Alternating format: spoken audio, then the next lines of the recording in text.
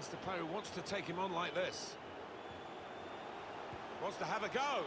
Goal, they've hit back straight away. Great reaction.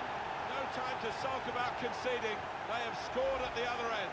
They have hit back here, and undoubtedly, there are two teams in this game. Oh, without question.